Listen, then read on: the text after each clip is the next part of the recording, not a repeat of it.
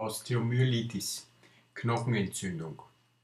Im Internet werden Sie verschiedene Begriffe für äh, Knochenentzündung finden. So schreibt man manchmal Ostitis, Periostitis, Osteomyelitis. Das sind alles Umschreibungen, wo sich die äh, und kann natürlich auch Information als Information dienen, wo sich die Osteomyelitis abspielen kann also die Entzündung, ob sie sich im Knochenmark hauptsächlich abspielt, dann spricht man von Osteomyelitis, oder ob sie sich eher peripher bei der Beinhaut oder äh, der Knochenhaut abspielt, dann spricht man vom Periostitis. Ostitis ist ein Begriff, der dann mit der Zeit entstanden ist.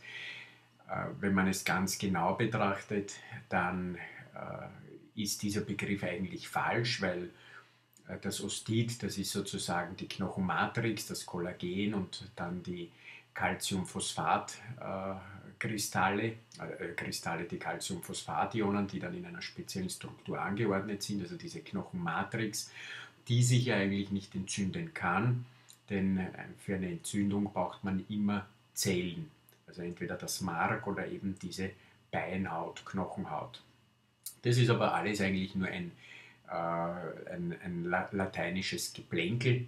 Viel wichtiger für sie ist, wie kann es zu so einer Osteomyelitis kommen. Die häufigsten Ursachen für eine Osteomyelitis sind infektiöse Ursachen, sprich ein, ein Mikroorganismus, in der Regel Bakterien, sehr seltener Pilze, äh, werden in den Knochen eingeschleppt und lösen dort daneben eine Entzündungsreaktion aus.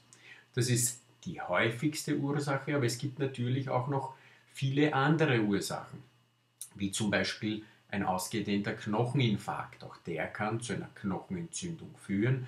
So stellen Sie sich vor, zum Beispiel bei einem Diabetiker, wo die Durchblutung generell sehr schlecht ist, wenn, wenn Diabetes also nicht äh, rechtzeitig äh, behandelt wird, dann kann diese schlechte Durchblutung dazu führen, dass bestimmte Knochenareale, vor allem im Oberschenkel, mit Nährstoffen zu wenig versorgt werden. Diese Bereiche sterben dann ab und dieses zerfallende Gewebe, dieser, dieser nekrotische Knochen, ruft dann eine Entzündungsreaktion hervor. Das wäre zum Beispiel eine Möglichkeit für eine nicht infektiöse Osteomyelitis.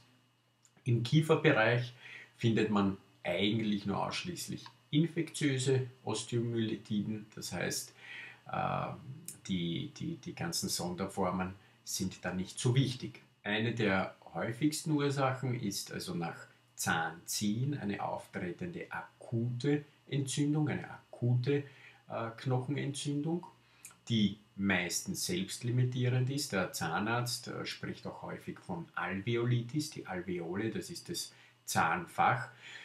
Äh, die Alveolitis nimmt in der Osteomyelitis oder in der Periostitis genauer gesagt so eine, ein bisschen eine Sonderstellung ein.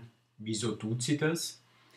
Äh, eine Alveolitis wird sehr selten zu einer chronischen Osteomyelitis. Das liegt daran, dass die Alveole sehr gut durchblutet ist. Wieso ist die Alveole oder dieses Knochenfach sehr gut durchblutet? Man findet dort das Desmodont. Was ist das Desmodont? Das ist ein bindegewebiger Aufhängungsapparat, der Druckbelastungen in Zugbelastungen umwandelt. Was soll das bedeuten? Äh, Sie kennen das vielleicht, alte Menschen, die liegen so lange an einem äh, Platz, also wenn sie nicht gut gepflegt werden, bis sie sich wund liegen. Man spricht dann von Decubitus. Und was ist es? Sie können es selber bei sich testen. Wenn Sie sich hier auf die Haut drücken, dann merken Sie, da kommt ein weißer Fleck. Wieso weiß? Weil in diesem Gebiet das Blut verdrängt wird. Und wenn das zu lange passiert, dann ist dieses Gebiet einfach nicht mehr mit Blut und somit mit Nährstoffen versorgt und das Areal stirbt ab. Das passiert also, wenn irgendwo am Körper ein zu großer Druck über lange Zeit äh, resultiert. Und das wäre natürlich beim Zahnapparat schlecht, wenn man beißen würde und dann würde das aus, würden die Zähne aus dem Kiefer herausfallen. Und deswegen befindet sich zwischen Knochen und der Wurzel ein, ein bindegewebiger Aufhängungsapparat, der ich mache jetzt, ich sage, das ist der Knochen und Sie müssen sich vorstellen, hier dazwischen, das ist die Wurzel und hier dazwischen sind lauter kleine Bänder. Und wenn ich jetzt sozusagen auf den Zahn drücke, ja, dann resultiert am Knochen ein Zug. Und dieses Desmodont, dieser, dieser Apparat, der ist sehr, sehr gut durchblutet und äh, deswegen werden also akute Entzündungen im Kieferbereich sehr selten chronisch. Wie kommt es nun äh, nach dem Zahnziehen zu so einer Alveolitis? Äh, da gibt es also verschiedene Ursachen, häufig spielen dann auch Kombinationsformen hin.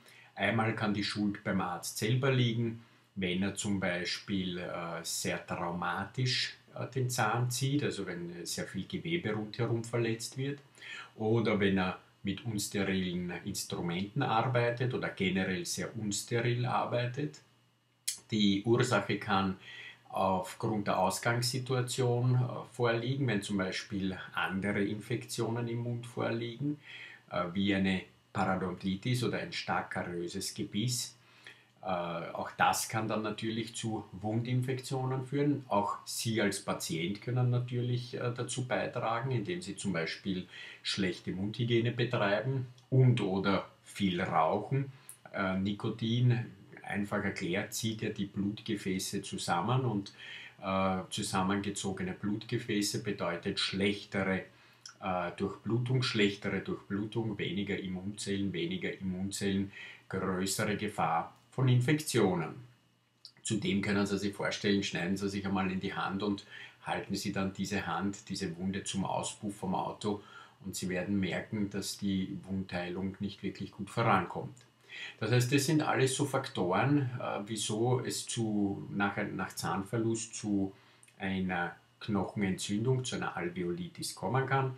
Wie gesagt, zum Glück äh, wird daraus sehr selten eine chronische Osteomyelitis. Was sind die Symptome einer Osteo, einer Alveolitis? In der Regel treten zwei bis drei Tage nach der Zahnextraktion plötzlich Schmerzen auf, die immer mehr zunehmen. Sie können lokal dann auch geschwollene Halslymphknoten entdecken äh, und häufig ein übler Geruch. Manchmal äh, sieht man nur ein weißes Knochenfach. Man spricht von Alveolitis sicca. Wie behandelt man nun so eine Alveolitis? Sie werden im Internet teilweise sehr unterschiedliche Behandlungsempfehlungen finden und teilweise auch sehr abenteuerliche äh, Behandlungsmethoden. Das ist äh, hauptsächlich in der Geschichte oder die, die Ursachen hierfür liegen in der Geschichte, weil die Zahnärzte in der Regel keine chirurgische Ausbildung haben. Und bevor man also äh, eine Knochenentzündung äh, zum Kollegen, zum Oralchirurgen oder Kieferchirurgen schickt, wird dann häufig mit Wässerchen, Salben oder irgendwelchen Pasten selber behandelt. In der Medizin generell wird versucht, jede Entzündung äh, wenn sie also besteht, eine Knochenentzündung anzufrischen, sodass man also den, den nekrotischen, den kaputten Knochen entfernt und danach mit einem guten Wundverschluss äh, versieht. Das gleiche sollte also im Mund auch passieren.